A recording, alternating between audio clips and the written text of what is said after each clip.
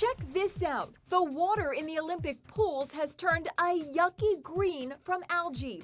Apparently, officials ran out of chemicals to treat the pool. To make matters worse, now water polo players are complaining the water is being overtreated with chemicals and causing irritation. I could barely open my eyes for the final quarter, said Team USA captain Tony Azevedo. They are putting so much chlorine in the water that people can't see. Ryan Lochte is having a little fun with the controversy. He posted photos to his Instagram page showing him with dyed green hair.